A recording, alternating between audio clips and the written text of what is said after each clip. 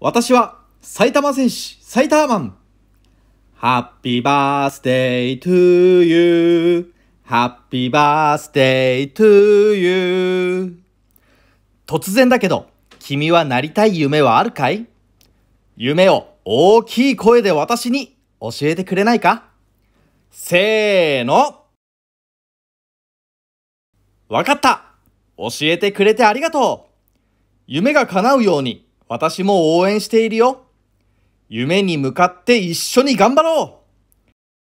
さくらちゃん、お誕生日おめでとう